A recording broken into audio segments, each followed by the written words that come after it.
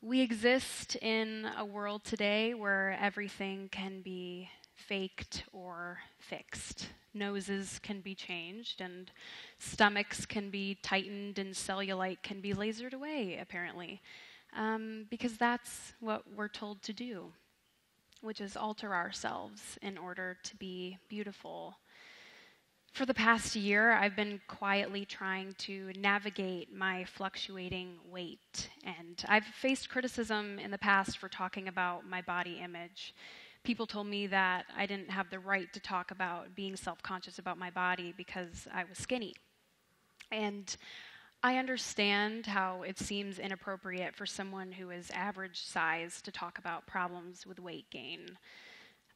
But my point is, I didn't think anything was wrong with my body until I was in an industry that rewards and praises people for having a smaller waist than I will ever have.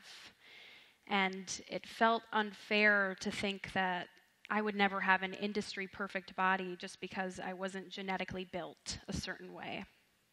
I was exposed to young women smaller than I was telling me that they needed to lose weight. So I became hyper aware of my changing body. I could see the difference in my shape in photos and wondered if anyone else was noticing. I felt this strange, constant struggle of having to live up to the expectation of the appearance that I had already established to the world. So I found myself examining my body constantly in the mirror. Sometimes thinking, okay, like I was being too hard on myself, everything's fine, I'm still the same size. And then I'd go back and look in the mirror a couple hours later, and my stomach looked completely different. So I was thinking, was my reflection lying to me? How can my body look so different over the course of one day? And why do I feel like I need to apologize to the world for my ever changing self? I didn't want the world to think that I was catfishing them with my appearance or making myself out to be a certain size and shape when clearly my body was changing. So I told myself if I can see this change, then other people can too. Reflections don't lie. Or do they? And is that body dysmo- dysmorphia? Or is this the normal part of being a woman that no one really talks about? I think about when I have kids in the future and will my daughter be self conscious about gaining weight? Will she feel the need to explain her body or justify it to anyone as it changes? Will she feel the same need that I do now to apologize to her peers and say, oh, my body doesn't usually look like this, or I'm just a little heavier than usual right now? Because how ridiculous is it that we even think about explaining the nature of our bodies to other people. But it's because we don't want them to judge us. Because judgment and criticism have always existed. It's just that now everyone can be a critic and share it publicly without hesitation at the push of a button.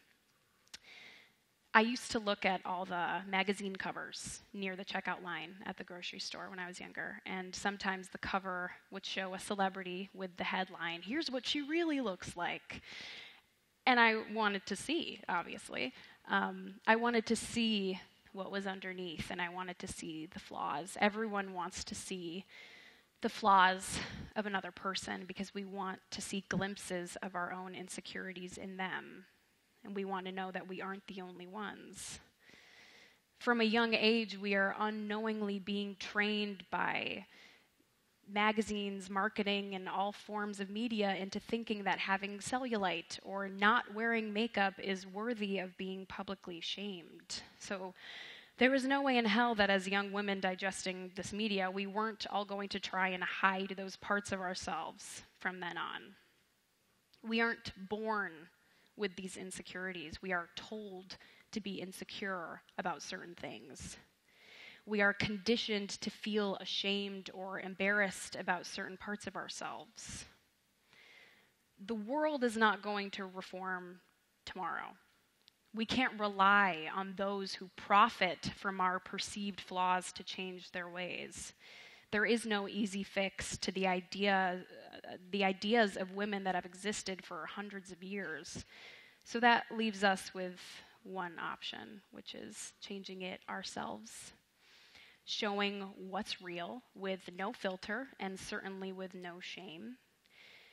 You are helping the movement of strong, modern women when you show the parts of yourself that we have been forever told to hide.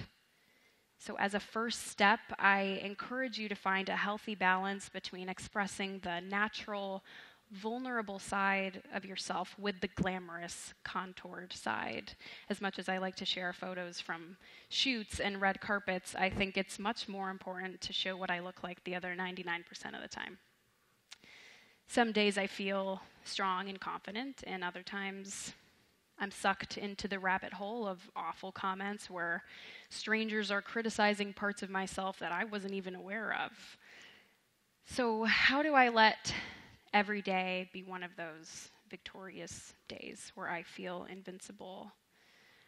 I don't I don't know. I don't have the perfect solution, but I have discovered some things that do help me have those better days.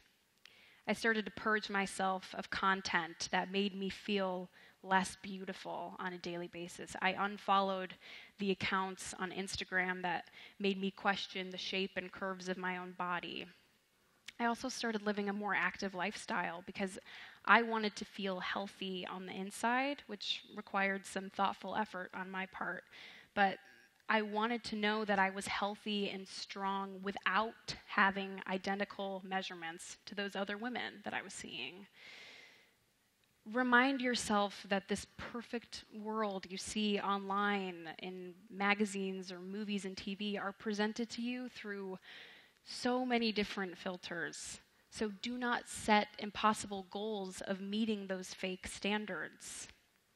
It's unrealistic to think that your body or my body will ever look like anyone else's. That's not the way it's supposed to be. We are all imperfectly beautiful, so let's embrace that and practice that in a healthy way. There is a massive worldwide community of women who are rooting for beauty to be recognized in every shape and color that we come in.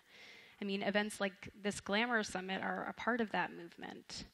So, embracing your natural beauty does not exclude anyone. There is no fine print.